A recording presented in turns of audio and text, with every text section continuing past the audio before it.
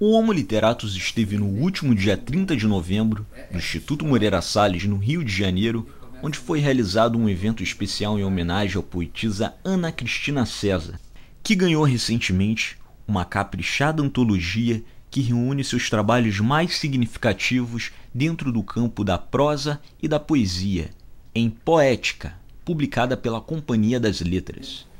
O evento contou com a exibição de dois filmes sobre a autora e um debate elencado por Armando Freitas Filho, Flávio Lenz, Ítalo Morricone, Laura Liuzzi e Mariano Morovato.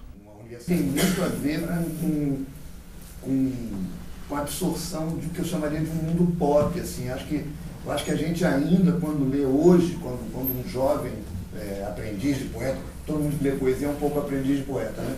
Quando um aprendiz de poeta, um, um jovem apaixonado de poeta, chega no poema da Ana Cristina, ele encontra assim, é, é, sensações e, e, vertigens e referências que ainda são referências nossas, mesmo, mesmo que as bandas sejam outras, mesmo que os filmes sejam outros, mas ainda é muito uma cabeça feita né, pela, pela coisa pop.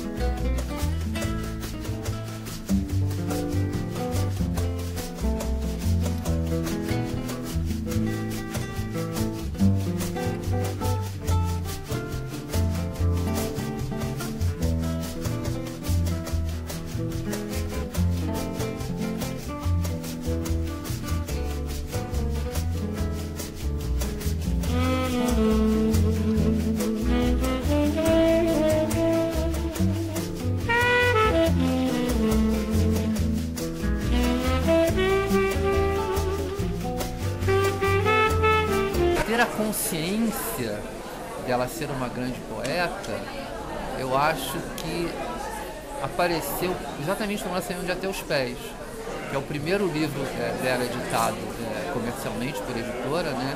Que reúne, a Brasiliense. Pela Brasiliense. Foi em qual ano?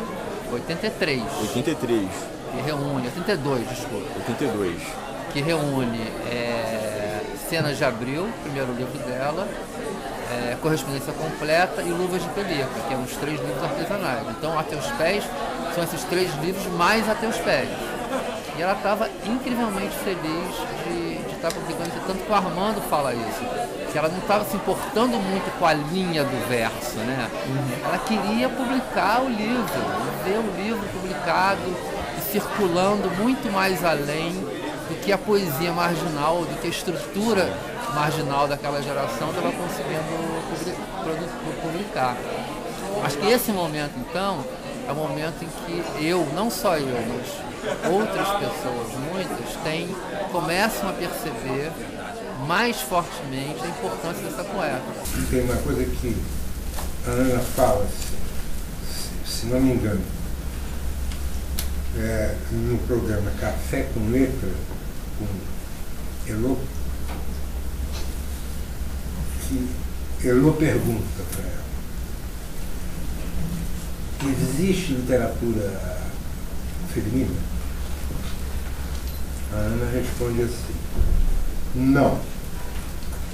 Aí depois há um, há um silêncio e ela diz, olha, eu preciso pensar mais sobre isso, porque eu não tenho uma resposta agora. Não há resposta cabal para isso. Não há, não há uma resposta cabal.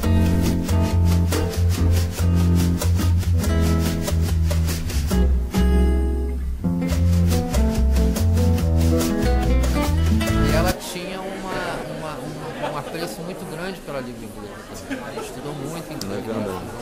Ela foi mestre, né? Ela, foi, ela, tradu, ela traduziu o relatório Height, que é uma, aquele relatório sobre a sexualidade, que era, eu me lembro dela traduzindo enlouquecida, né? Porque o relatório Height fala das fantasias sexuais mais é. loucas que você pode uhum. ver. Você traduzir aquilo, você imagina o que é você traduzir é. tudo aquilo. Né? O interessante é que, na, quer dizer, é uma opinião, né? Mas eu acho que uma das características principais da, da, da poeta, né, da obra, da estética, da poética da Ana Cristina, que eu acho que a torna muito atual e muito relevante hoje, é, referencial muito importante hoje, é porque realmente ela, ela, ela não é uma poeta da versificação ou do verso. É, e a gente vive numa época em que uma parte, não todos, mas uma parte grande, agora está diminuindo um pouco, né? voltou mesmo para a ideia de poesia como uma arte da versificação. Né? Mas, por outro lado, por não ser voltada para a questão do verso clássico, né? É, a questão central para ela era o ritmo. Né? Como, que ela, como que ela aproximou o verso da prosa e como a questão do ritmo, da sintaxe. É muito engraçado você ver isso, que, que, que é, um, é, um, processo. Quer dizer, de repente, nesse momento, nós vamos parar, vamos publicar o livro desse jeito, mas, na verdade, a questão da, da, do ritmo era central na, na, no, no, processo dela. Central, ritmo no sentido da própria respiração. É, isso, isso. A frase, a né? Frase. Ela era uma. uma, uma ela, ela, a questão para ela era muito a frase. A né? frase. A frase, o som da frase. O som da frase e até um, até um fôlego para aquela frase. É, além das folhas. É um pouco como o Leminski, que estava esgotado, então eu, eu, sou responsável pela obra do Leminski também, ah, é. companhia. E ele estava fora de catálogo. Se tornou um best-seller. É. Então foi um pouco na carona do Leminski que a gente percebeu esses autores que têm uma carência cadê esses autores no mercado? Eles desapareceram. Tem um ar de tá jovialidade tá também. Eles é. de clássicos contemporâneos, assim. Sim, total. Tem essa coisa. Eles estariam vivos hoje se eles não tivessem morrido tragicamente nos anos é, 80. Verdade. É, mas é isso, e daí tem a, o Antigos e Soltos, é o último livro do volume, que é um livro feito aqui no IMS, com a organização da Viviana Bose, e, que é uma edição é, de colecionador, é super caro, é um livro um pouco inviável. O IMS não, não refez esse livro. Então a gente pegou trechos dele, que não daria para incluir inteiro. Ele é um livro que mostra todo o processo criativo da Ana e, enfim. É, a gente tentou mostrar um pouco desse processo criativo no nosso livro, mas ele é um livro que é para reunir a obra toda, então a gente pegou mais o que tinha de escritos complexos lá. Tudo isso com a curadoria do Armando. E daí tem alguns inéditos que foram pesquisados pelo Mariano Marovato aqui no Instituto.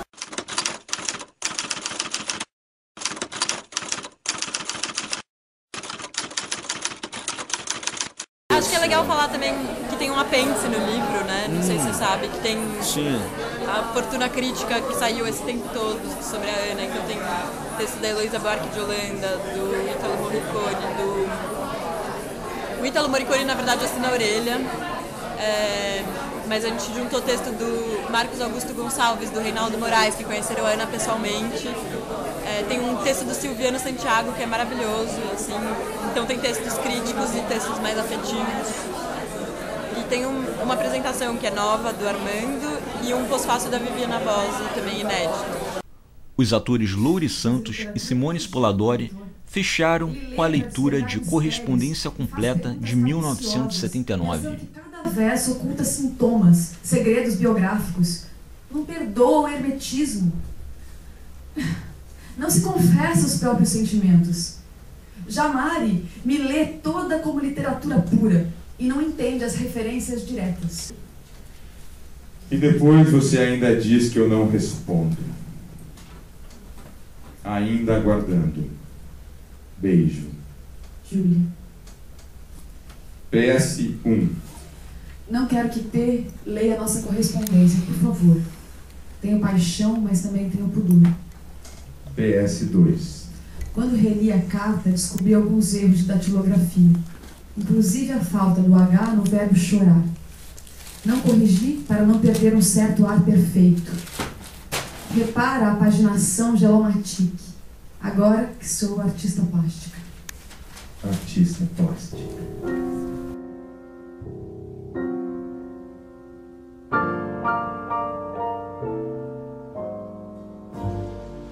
Gone with the wind,